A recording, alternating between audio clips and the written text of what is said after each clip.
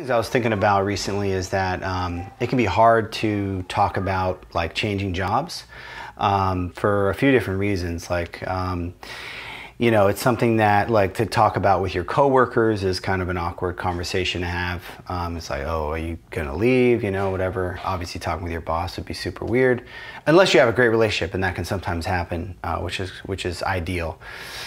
Um, and then um, also like even just talking with somebody else that you know that's in, in the in, in your industry can be a little weird because they might work for another competitor or something. You might not want to like put the word out that you're thinking about, you know, changing jobs.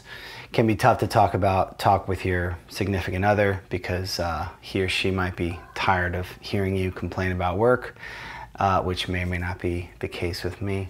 Um, and uh, and then you know like you could talk to a recruiter, but most people um, you know feel weird about talking to recruiters, and you know they can use a lot of pressure tactics and you know spam you and stuff like that. And so um, anyway, so I think that's one of the things that makes Commerce Hero a little bit unique is that you know you can just ping me if you want to chat we don't have to get on a phone call. We could just, you know, you could DM me, whatever, bounce ideas around. I could uh, give you an idea of what the market looks like for your skill set and things like that. And just could be low key, no pressure. Uh, it's always a bad sign when somebody says no pressure, but, but yeah, like uh, just to have something to, you know, somebody to bounce uh, stuff off of. You know, sometimes people do that and whether or not it leads to a job, whether it leads to a job or not, it you know doesn't matter. Um, I'm happy to just chat with people. So, uh, anyways, if if you're interested in that, just let me know.